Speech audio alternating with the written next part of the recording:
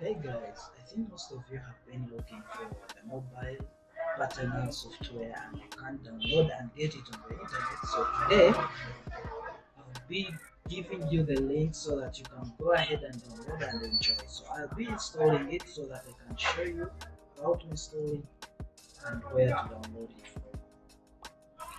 So I'll go ahead to extract it here.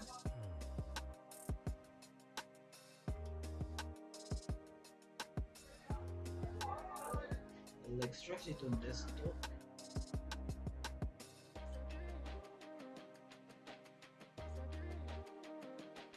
Installing it. So this is the setup. So after the installation process, we shall go ahead to double click on it. So after loading up, this is how it looks like. So this is the interface.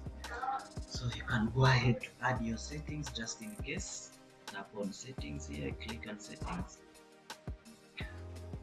Uh, after clicking on settings you go to preferences then you can go ahead to check calls smss then profile management if you want to add any profile management depending on the sim card you are using.